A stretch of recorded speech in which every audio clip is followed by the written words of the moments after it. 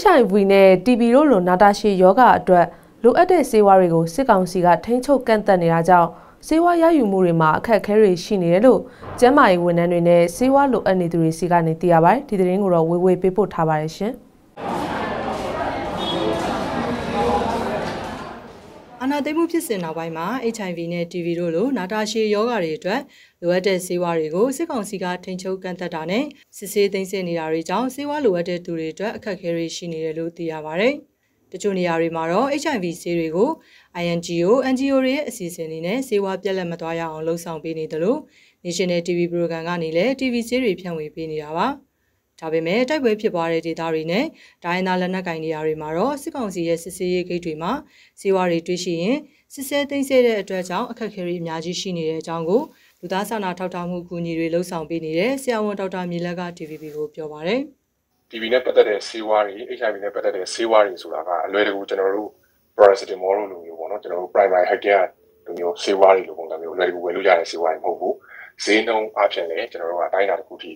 ဈေးကြီးရမျိုးရှိတယ်ပြီးတော့နောက်တစ်ခုကကျတော့အဲထိန်းချုပ်ကန့်သတ်ဆေးဝါးတွေဖြစ်တယ်ပေါ့နော်ပြောရမယ်ဆိုကျွန်တော် strategic drugs လို့ခေါ်တာပေါ့နော်ဘယ်နေရာမှာခက်ခဲတွေ့လဲဆိုတော့ကျွန်တော်တို့ဆေးဝါးပစ္စည်းတွေကို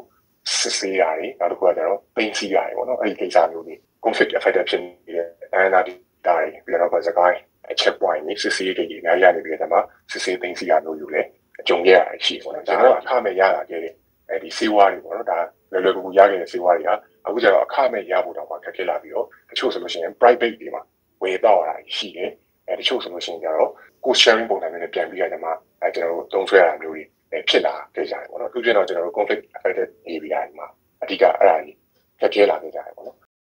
ရန်ကုန်လိုနေရာမျိုးတွေမှာလည်းပုံမှန်ဆေးပေးဝင်နေတဲ့အစိုးရမဟုတ်တဲ့အရက်ဖက်အဖွဲ့အစည်းတွေတည်ထောင်ထားတဲ့ဆေးကန်းတွေပိတ်သိမ်းကုန်တဲ့အတွက်ဈေးဝါရယူဖို့အခက်အခဲတွေကြုံတွေ့နေရတဲ့အကြောင်းကို ARD ဆေးဝါပုံမှန်ရယူနေသူတယောက်ရဲ့တငယ်ချင်းဖြစ်သူကပြောပါရယ်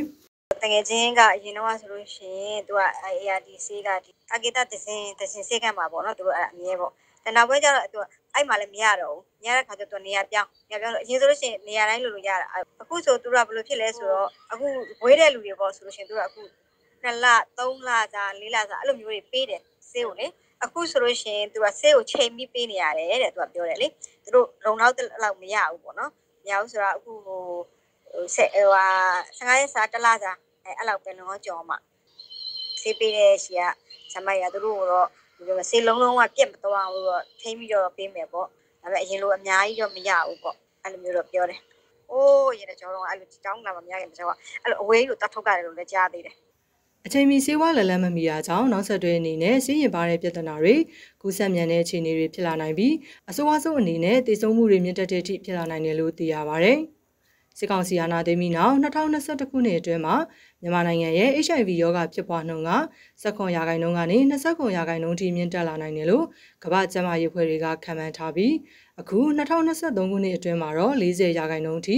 ရောဂါဖြစ်ပွားနှုန်းတွေမြင့်တက်လာနိုင်တယ်လို့ပြောဆိုထားပါတယ်။ဒါပြင် conflict affected area တွေမှာလူတရာမှာလူ40ကျော်က ART ဆေးပြက်လက်မှုနဲ့ကြုံရနိုင်တယ်လို့သိရပါတယ်။ကျွန်မဝေပါ